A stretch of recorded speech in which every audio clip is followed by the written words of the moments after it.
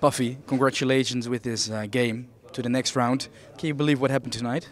Thank you. Yeah, it was one amazing night, and I think the team did very well, and we achieved to to go to the quarterfinals.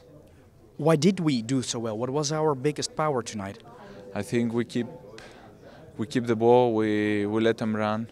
Also with 1-0-1 we don't panic.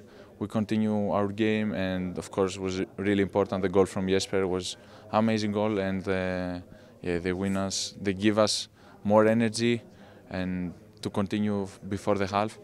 And yeah I think the biggest uh, achieved today was to keep the ball and play our game with a pressing and the support from the fans you say support from the fans uh, because uh, the stadium was full. It was a record uh, because the stadium was never been so full as today.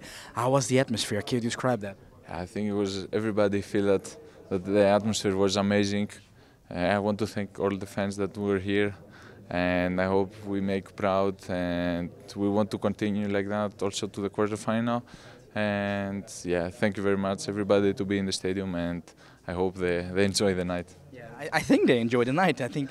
Did you enjoy the night? Yeah, of course. If you you win two times against one team like Lazio and you go to the quarterfinal, of course, everybody I think is it's really happy. Yeah. Um, you scored one goal tonight, the the, the second goal of of AZ. Um, was it immediately okay? I'm gonna score this one. No, it was not like this. It was really good pass from Jesper, and yeah, I do it like all the time in the training, like shoots like that, and yeah, it was the right moment, and the goal was there, and I think was really important. And such a relief, I saw.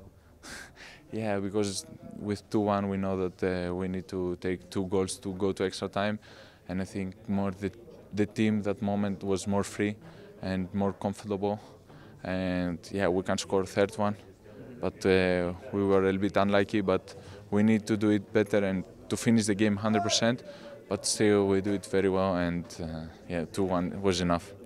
Besides that goal that you score, which was very important tonight, uh, you worked so hard.